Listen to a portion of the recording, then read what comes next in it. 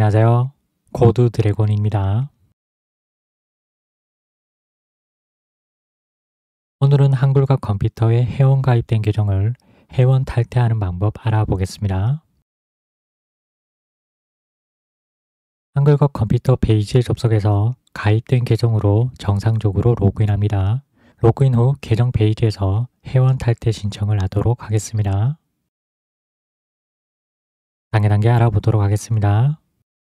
한글과 컴퓨터 페이지에 접속합니다. 접속 후 우측 상단에 로그인 버튼을 클릭합니다. 아이디와 패스워드로 로그인합니다. 로그인이 완료되면 우측 상단 메뉴에 있는 my page를 클릭합니다. 왼쪽 메뉴에서 회원 탈퇴 메뉴를 클릭합니다.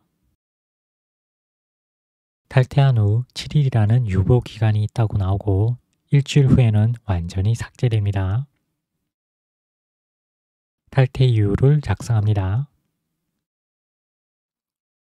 탈퇴 사유를 작성하지 않으면 다음 단계로 진행되지 않습니다. 탈퇴 사유 작성 후 탈퇴 버튼 클릭합니다. 탈퇴할 것인지 팝업 창으로 한 번 더 물어봅니다. 확인 클릭해서 탈퇴하겠습니다. 팝업 창이 하나 더 오픈됩니다. 확인 클릭합니다. 회원 탈퇴가 완료되면 페이지가 변경됩니다.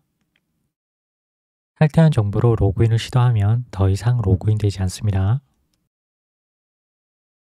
오늘은 한글과 컴퓨터에 가입된 계정을 탈퇴하는 방법 알아보았습니다. 오늘은 여기까지 하도록 하겠습니다.